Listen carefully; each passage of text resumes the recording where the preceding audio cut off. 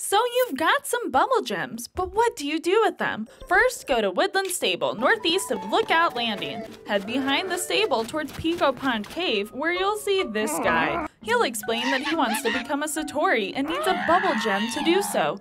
Give Koltin a Bubbul gem and you'll be rewarded with a bokoblin mask. Hmm. Koltin's brother Kilton will set up shop in Tarrey Town. Be sure to visit him for more items and side quests. Happy hunting!